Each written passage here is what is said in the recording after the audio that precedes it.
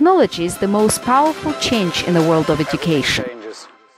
Welcome to the video interview series Augmented Reality-Based Technology in the Classroom, delivered to you by Clever Books Company.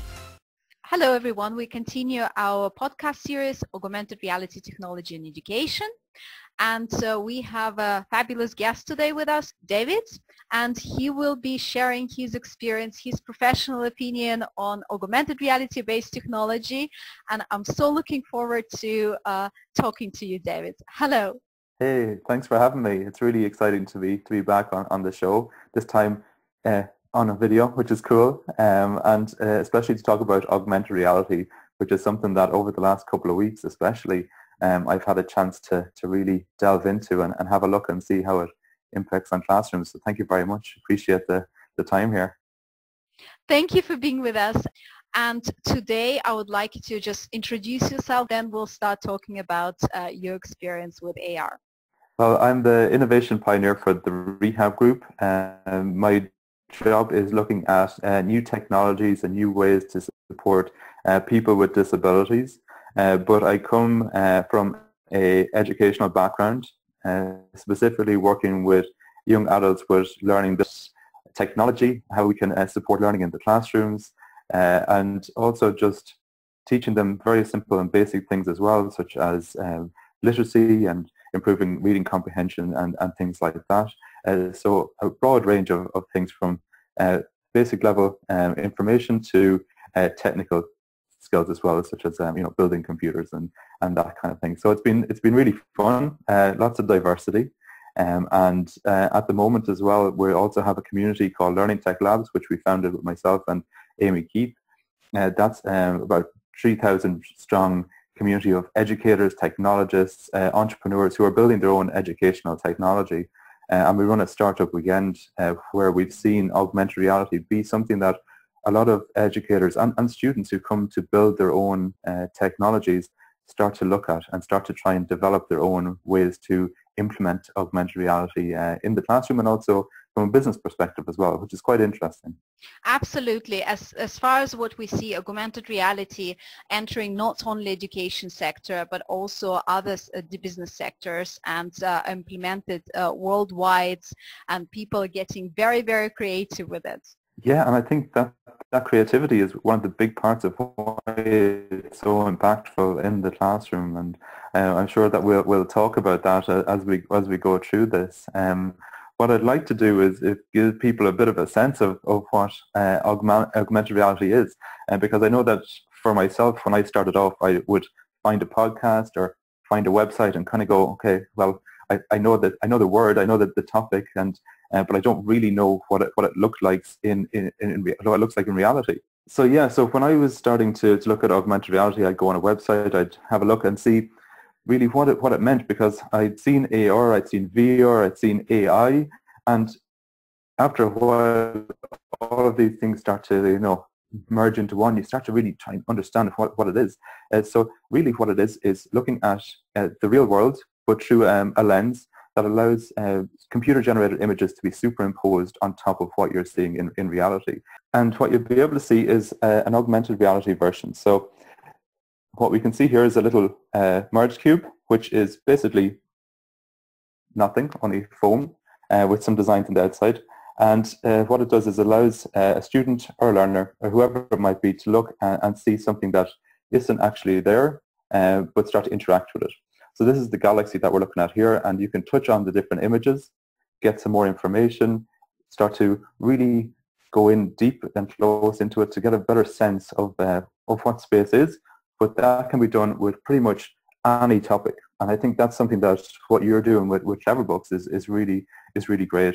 Uh, that you've seen the potential of actually supplying uh, augmented reality augmenting your, your classrooms and your lesson plans for teachers and really giving them something interactive that, first of all, really sparks the imaginations and the interest of your of your learners. Uh, and then that's something that teachers and educators can start to build on. Uh, and then we've seen lots of studies that support, you know, a lots of the, the benefits of this, uh, which is which is really exciting. And, and that's something that I think as an educator we really need to start to take seriously as well because once we start to see these studies coming through that show that there's an increase in motivation, there's increase in involvement and engagement, well, we can utilize that and then we can start to, to build better outcomes for our students as well, which is which is exciting. I think it's I think it's really exciting.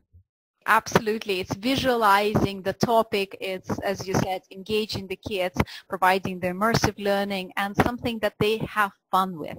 Yes, uh, I think that's that's really important because if you don't have fun in the classroom, you know what happens yourself. We've all been in we all been in those situations as a as a student, even as an adult student or a, a young student, where just the teacher does not have that element of fun, and then you start to get bored, you start to daydream, you lose concentration, and then suddenly you're a couple of weeks down into the subject, and you realize you're actually behind other people, um, and then that in itself, I know from my own personal experience, starts to demotivate because you think, oh, well, what's the point? Because I'm so far behind, then I'm not going to start to engage with it. But I think that early stage is the key for, for a lot of learning. If you can keep students engaged, keep them up to track, keep them up to date with where they are in their learning process, um, it allows them to, to, to keep their own intrinsic motivations as well, um, as well as you know providing uh, more support and more opportunities to learn in, in different ways. Um, and I think that can only only be a good thing. And looking at my own uh, classrooms when we brought in augmented reality, we've looked at things like problem solving, uh, the benefits of teamwork, the social skills, uh, and for young adults with, with learning disabilities, uh, people coming in as well with uh, autism, they're really important uh, aspects to have, especially the social aspects, because there's a lot of learning there. There's a lot of peer learning. There's a lot of um, even outside of the, the classroom uh, learning outcomes, you have these social engagements that um, support students to feel more comfortable uh, in their learning environments, not just in the classroom, but in the canteen, in the, the spaces around the school. And then that in the, itself, that actually brings it back to the classroom and you have a better environment within the classroom that kind of nurtures this uh, spirit of uh, community and collaboration and you start to, to learn together. Uh, you're not just, you know, you have one student there learning, another student there. It actually becomes a full immersive environment where the teacher as well uh, is learning with their students and they're learning with each other. And that's uh, very when, when it happens and when it works well uh, it's a very uh, pleasant experience. And students start to enjoy coming in which is un- unusual I think uh, and I'm not saying they enjoyed coming into my classroom all the time I'm sure I'm sure they didn't uh, but but there were times where you have them coming in excited show me on their phones the the new apps that they, they, they, downloaded themselves and what they'd done and how they'd worked on it at home, which is which is always really fun, uh, especially when uh, you're you're trying to to encourage that. So such a great atmosphere in the classroom and to enjoy for everyone, for the teachers and the students. yeah, some sometimes, not all the time. okay. I would really like you to talk about how you put um, use of augmented reality into practice, into the classroom, and maybe share one or two experiences, uh, uh, how you integrated it in your lesson plan and what the outcome was. Yeah, absolutely. Um, one of uh, one of the really interesting things that we did, um, and just because it's shining and sunny and we have blue skies here in Ireland at the moment, shining in the window, I think it just it reminded me um, of it was a couple of years ago uh, and we were working in a class and we were looking at um, the periodic table, uh, looking at the different elements and how things interacted and worked with each other. And we were trying to think of, of ways to really uh, support the learning here. And um, it was it was a hot day, so we decided that we would have a, a discussion um, in our in our lesson based around uh, the temperature, uh, what people would need on a hot day, and then obviously the one of the things that came up was we need water. So we, we asked the question, so how do we how do we make water? How do we get water? And um, I'd seen an augmented reality um, uh, application that supported um, little tiny cubes, and you could print them out, and on each side of the cube they had a different um, uh, periodic uh, element. And what we decided to do was explore um, what we needed to make water. So you need your hydrogen, you need your oxygen. Uh, they printed out these cubes, they made the cubes themselves, so there's an element of creativity there. So they're engaged in the actual creation themselves. Uh, and then what we did was we started to look and try the different uh, elements, and some elements, you know, they could combine. But then we had a, we got our hydrogen, we got our oxygen, and on the the phone you could see that in this you could see the little uh, hydrogen atom. You could see here as well the oxygen, and when you you connected the two together uh, on the phone uh, through augmented reality, they would turn into water in their little boxes. So the two boxes together combined and turned into water, and it's it's quite simple in the overall scheme of things, but the, the, the process of getting to that point really engages students in that learning experience. And it was something that I hadn't done before. It was a new lesson to me. Um, and I even found myself getting excited uh, with the students as they were starting to try things out and really engage with, with the topic. And um, also, I think what's important as well is allowing them to document this. So we took screenshots of uh, this in action and we said we'd, we'd tweet it out and see how many uh, responses we got to our, through an account. And, and that went really well. And then even from that and the feedback that they got, it encouraged them to continue on uh, learning in, in this way and to, to take some pride in, in their learning, which I think actually is, is very hard to, to achieve. Um, and just get students to see the value of the learning that they're doing and what they're doing in the classroom. So I'm always encouraging people to to share uh, especially with augmented reality, with virtual reality, and the new technologies, these emerging technologies, share what you're doing in a classroom. Encourage other teachers, but also in the same process, you're encouraging students to really see the value that, oh, I'm doing something that's innovative here. Uh, I can encourage other students to, to learn in, in new ways and to really uh, embrace that. Um, and from that, then we, we found that there was better attention. So the next day when you come in and you ask, well, how do we make water? they're able to tell you straight away. Whereas I'm sure that if I'd hand them out leaflets or you know tried to do a one uh, just a talk at them, um, I don't think that would have would have stuck. Now I haven't tested it, but I would imagine that that would be uh, the case. So it's something that um, augmented reality also helps to provide uh, certain experiments that you might not be able to do in real life, or if it's something that could, if you put the wrong ingredient in, uh, it can be quite dangerous. We had one guest speaker who was talking about that. You know, it, it's just an amazing way to uh, show the kids what can be done in a I, very I safe way in a very safe way, yes, exactly. Uh, I can remember a few, uh, when I was studying chemistry myself in school, I can remember a few near misses. So I think this would have really helped uh, my teacher if, if she could have just given me things. I was, uh, I was a little bit dangerous as well, so I can appreciate that. Yeah, it, it allows uh, classes, even just full classes, and supports people with disabilities as well to transport outside of their environment so that you can go and you can um, see new uh, experiences like we had here. We like none of us can go to space yet, but we can still see how the, the solar system works um, and and interact with it. Or even with virtual reality, we can go on we can go on different tours. We can see new spaces, um, and I think that's that's really exciting. I think um, it allows people to have um, more diverse experiences which of course in itself um, prevents um, that disengagement because you're you start to go, oh, well, what else can we do? And and really start to look at that, which is which I think is is really really fun. Um, and one of the things that I've noticed as well in the classroom, and I think is really important for these new emerging technologies, is um, that it supports empathy as well.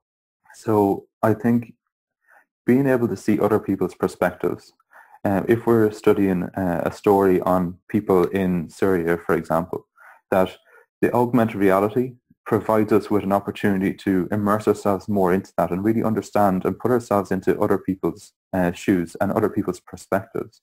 Um, and that to me is, I think, probably one of the, the key areas moving forward in education is that we provide uh, this uh, support to allow our students to develop their empathy and to ex- explore this area because even especially with technology, I think we've we've stepped away from empathy quite a lot. Uh, I don't think we provide it. We become very uh, disembodied in our, in our voices, in our opinions, um, because we're behind our screens. And I think what this does is allows us to become more Im- in, emerged and immersed into um, other people's worlds. Um, and I think that that's I, only a good thing. It can be only be a good thing if we can start to to understand how other people are feeling. And what augmented reality does is it allows us that little bit more to understand others' perspectives and to uh, empathize with them. Now, sounds fantastic and sounds it's something that really does bring value, uh, not only to the classroom, but the overall uh, learning process and uh, the skills that people, uh, kids are developing and also the attitudes uh, they, they, they will have uh, in terms of different subjects and and I would like to ask you also, because you work with children with disabilities and uh, you've um, used augmented reality uh, in the classroom and it would be really interesting to, to hear what improvements you've seen in kids learning and what are the key benefits you can suggest that AR really brought to the um, educational process. I think in, in the terms of uh, some of the the students that have been working with intellectual disabilities, often the, the social skills, the softer skills are things that people don't appreciate as much, especially in education when we're very much um, outcome focused learning outcomes. We want to hit our targets. We want to, you know, see percentage increases and things like that. And often in the case of looking with young adults uh, or teenagers with uh, disabilities, we should value more is actually their social interaction. Um, because these are things that to the workplace as well, and and often um, they're overlooked. Um, and I think that what augmented reality does, and other emerging technologies, whether it be virtual worlds, mixed reality, um, uh, integrating games into the, the classroom, such as uh, Minecraft or whatever it might be, what I have seen is that the social interaction and the the, the communication of um, young students in the classroom increases fivefold.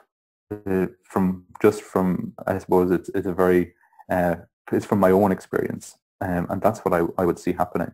Uh, and this in itself starts to lead to to confidence growth. And what we've seen is that from that, um, I had one student who, who told me in the first couple of weeks that, and he told everybody else too, that he hated the course. He didn't like it and he just, he wanted to leave. Um, and we brought in um, some different technologies. We tried out augmented reality. We tried out um, uh, Minecraft and things like that. And little by little, he, he started, he wouldn't talk to anyone before that. And then he started to communicate without ever realizing because he he had uh, a connection with the technology more than with the people. But when other people were using the technology, then he started to talk to them without ever even being self-aware of it, you know. So he was just, this started and started. And then suddenly from just standing on his own, just on his phone outside of the classroom, he was in the the canteen and he, he was talking and I went in one day and he was laughing with uh, his peers and they were watching uh, a video on his phone and he was sharing what we'd been doing in the classroom, but in a different way. And little by little then we saw that impacting. So we were doing tennis courses uh, and he wouldn't bring his, um, his runners and he wouldn't take part. And then he started to bring his runners and then he wouldn't stop and then he started to become very proud of it. And I'm not going to attribute all of it to the technology and, and the things that we brought in, but it was um, it was a key factor. Um, it was that communication that uh, allowed him then to be able to start to understand how he could collaborate and communicate with his peers that then automatically started to to spread into the other areas of his life. And and then again, I think as well, um, moving away from that particular story, I think one of the key aspects of what augmented reality can do is to support uh, in reading comprehension and in uh, literacy. Um, and I think that is one of the, the key areas that, especially in the area that I work in, holds people back. It can be that stumbling block of, I can build a computer, but when it comes to actually doing my, my numeracy or literacy exam, I can't get it down on paper. I, I and that is the thing that your funders want to see, the, the people that um, are correcting exams want to see that you have this paper done and you can answer these questions. They don't necessarily see that you've built this high-spec gaming computer uh, and put it all together. Um, and I think that augmented reality, I was talking to um, Jaime Donally recently on, on a Skype call, uh, and she was um, telling me about the potential of going into uh, an augmented world where you can walk around your numbers and around your letters and start to, to interact with them. And through that, then you're starting to get a better visual uh, idea of, of what these are, and therefore the learning starts to come with that and the retention starts to come with that as well. And that is really exciting. And I haven't actually tried that myself in the classroom, but it's something that I'm I'm really excited to do in the next few weeks. And I can, uh, if I if I have a video or anything like that, I'm happy to share that with you at that stage. Uh, and I uh, I can uh, share a link, and, and hopefully then in, in, a few weeks time from now, when when this is going out, that I'll have something that I can show uh, some of the students that we have actually, you know, doing this in, in real life, which I think will be really cool. Absolutely. We'll be glad to add it uh, under the podcast so people can also uh, see it and as a real example. Yeah, I, I think that's that's always important. Everybody wants real examples, you know, because I, I suppose there's so many articles, there's so many things out there that, and you just want something practical that you can say, Absolutely. okay, I can take that now, I can put it into practice, I can try it tomorrow. I can do it right now if I really want to. And often it's very simple. Um, there's lots of free applications out there that you can you can try and you can mess around with and you can have fun with as well. And I think when you're starting off, don't be afraid to try something. And if it doesn't work, it doesn't work. You know, because that's part of your process as well as an educator to actually be able to try something out and say, okay, well, I've reflected on that. That's not going to work for me. So we, we can we can move on and try something else. And what works for one educator in their particular environment may not work. And, I, and that is um, one of the areas I would encourage people uh, to, to really start to look at other educators, but then to adapt it uh, to their specific environment. Really understand who you've got, who your audience, who your classroom, and the spaces that you have as well, and say, okay, well, they've done it this way, but I can do it this way. And actually, what you might find is that um, it works better and and then you share that and, and other people can can learn from that as well. Um, there are a couple of areas I think, and this is one thing I really wanted to to share, mm-hmm. is for educators who are thinking about using augmented reality, just a couple of things to, to consider. Um, and also, obviously, the cost and the funding is, is one thing, but then just understanding the other people that you've got as well. And, and this goes, I suppose, maybe more so for principals and managers who are who are actually trying to support their own teachers. Um, is look at look at the the the training that's required.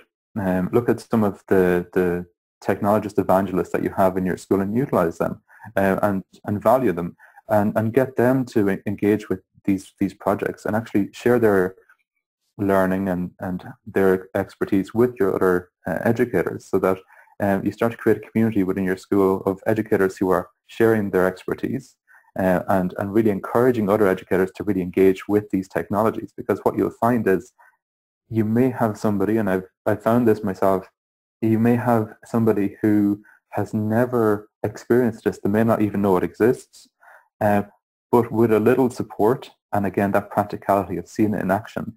Um, so I've gone into plenty of classrooms with other educators um, and just done one class and they've taken it up and then they've run with it. And I'm sure they've done much better things than I've done as well. Um, but it just it, allows that kind of uh, sharing of information um, in terms of uh, for professionals as well, um, and then reporting it. Um, and one of the, the key areas again is to look at the actual problems that you have, not to just put in augmented reality for the fun of it, but to actually, when you're creating your, your lesson structures and looking at your curriculum and looking at your year and how you're laying it out, is look at the pain points, look at the key areas that you go, okay, this could be a, a problem. Last year, I couldn't get them to engage. And then implement it based on that as opposed to just putting it in. You can have it for fun and there's areas there, but if you're going to do it properly, you should really be starting to identify those those, those areas and then linking uh, all of the those areas to potential augmented reality or other technolo- technological uh, solutions. And I think that's where you start to, to see the benefits when there's, there's uh, a real foundation to the, the technology that you're putting in. Well, thank you very much, David. Uh, such a great inspirational advice uh, that's, you know, to teachers who haven't used that yet and who are planning to do that. So I'm sure that you have encouraged, you have encouraged to many to try it out and give it a go.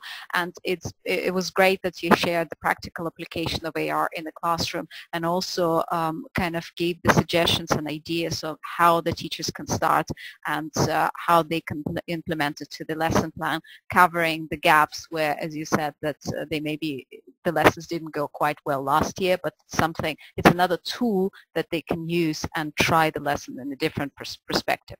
Uh, absolutely. And look, if, if people are really uh, interested in the area, I'd encourage them obviously to, to look at what you're doing, which I think is fantastic. And um, also looking at people like Brad Waid, uh, Jaime Donally, uh, and those who have really um, thought about this and, and gone deep into the into the subject from an educational perspective. Uh, even people uh, in the UK, uh, such as uh, David Gucher, who's doing uh, a few things like that. I think that'll be really worthwhile um, following them, seeing what they're doing on Twitter, and then uh, seeing what you can bring into your own classroom then. So yeah, no, it's been it's been fun. it's always good and a pleasure to to have a chat with you. Yes. Well, thank you, David. It's been a pleasure having you, and thanks so much for sharing your opinion. No problem at all. Thank you. Changes.